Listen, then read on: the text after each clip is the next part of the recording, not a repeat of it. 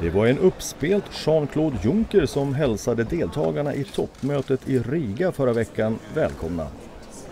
Först fick EU-kommissionären Cecilia Malmström en liten tillrättavisning. Sen var det dags för statsminister Stefan Löfven att få en örfil. Och på den vägen fortsatte det.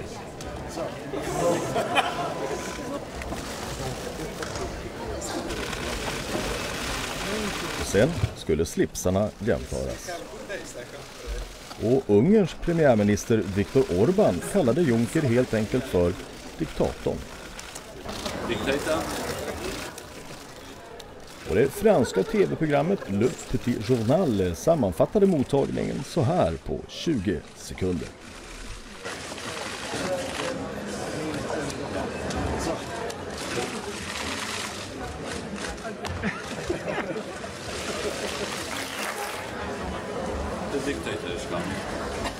Le dictateur arrive, dit-il, et le voici.